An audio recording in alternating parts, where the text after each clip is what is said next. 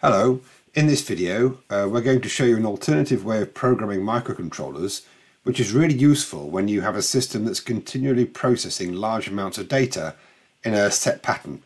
For example, processing music, filtering signals, or controlling a system using PID. Now this is known as digital signal processing or sometimes data flow programming and Flowcode is really good at it.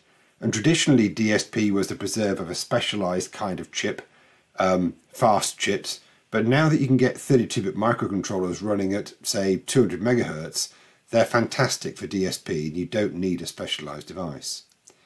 Now you can see the DSP components in Flowcode under the DSP category. Um, and you've got a load of different ways of getting data into the microcontroller through different pins or CSV files. Um, lots of different ways of getting data out and then a load of operators. So you can add signals together, you can average signals, you can rectify signals, um, you can carry out fast Fourier transforms, which are really useful uh, mathematical constructs. Uh, you can filter things, PID, as I said before, uh, multiplex, and do all sorts of stuff. And here we've got a little program that is performing an echo.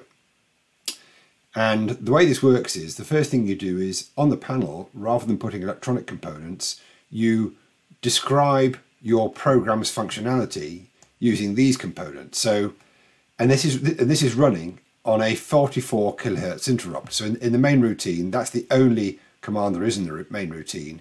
Um, we enable a timer interrupt um, at 44 kilohertz, which is the same frequency that you use when you've got compact disks and it calls a macro user macro.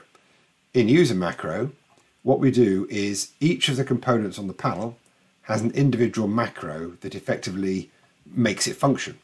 And on the panel, we have here an input. So it takes an input from AN1 and that input is fed into two other uh, command icons. The first is a delay of 2000 uh, sorry, 20,000 samples. And the other one is a summing component. And basically this takes part of the delayed signal and the original signal, and then it puts it to an output.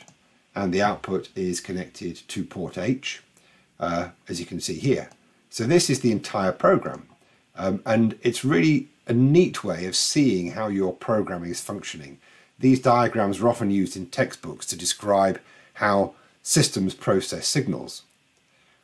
Now, what you're going to need, of course, is uh, um, a little bit of signal conditioning on your chip. And let me just show you the hardware I've got.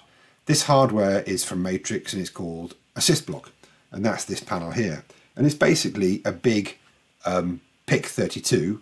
It's got two inputs on these small BNC connectors and two outputs. But you've also got inputs and outputs on standard 2.1 millimeter uh, stereo jacks. And this is a little diagram that shows you how it works.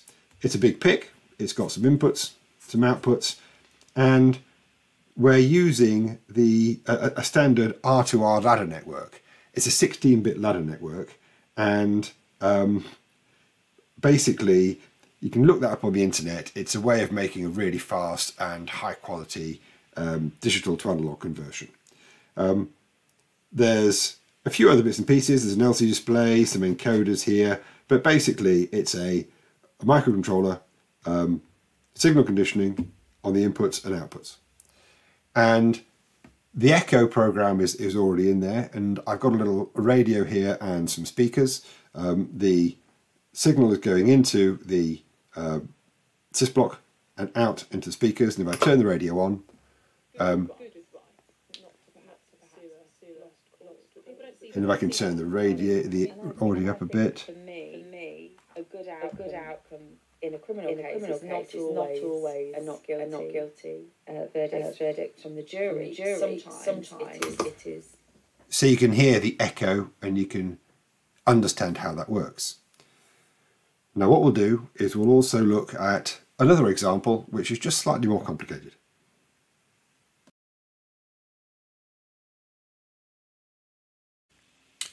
So here's another example, which is a audio reverb system.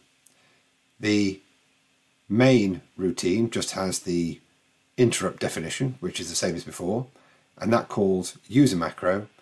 And user macro just has the calls for each one of the DSP icons. On the panel, you can see that as before, we've got the signal coming in on channel analog 1. We've got the output on port H again, which is fed to an R2R ladder network. The input is fed to a mixer. And then we basically reduce the amplitude of that signal by a factor of 4 and we successively delay the signal and pass the delayed quantities to an adder that's then filtered and then fed back to the mixer at the front. So it's a feedback system, a reverb system. And if we turn the radio on, going back to our hardware,